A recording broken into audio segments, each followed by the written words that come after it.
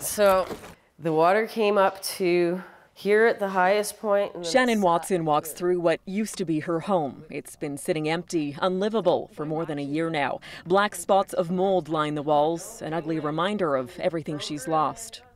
It was my life, right? The smell was so bad, I had a headache instantly. She's one of dozens of flood victims trying to move on after last year's disaster. The Kettle River spilled into this neighborhood of Grand Forks. Now, about 100 of these homes have to go as part of the city's plans to make the area a floodplain. The city received about a $50 million package, including funding from the federal and provincial governments. It's for flood mitigation and home buyouts, but it's under the condition that the homes are assessed at what they're worth after the floods, which in many cases isn't very much. In Watson's case, her property was valued at $150,000 before the flood hit.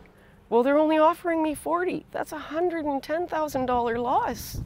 I don't have another 25 years to do it all over again. You know, we have to look at our long-term financial security. The city says the priority is to save Grand Forks from future flooding. The mayor adds they're trying to find other ways to help residents, but he's making no promises. It is a disaster, and it's not our responsibility to make people whole. Experts call the situation unprecedented in BC and possibly Canada.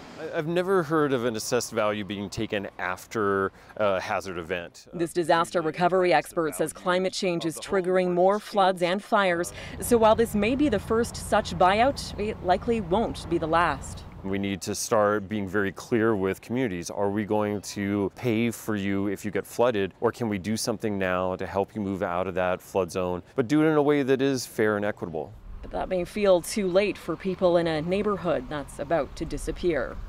Tanya Fletcher, CBC News, Grand Forks, BC.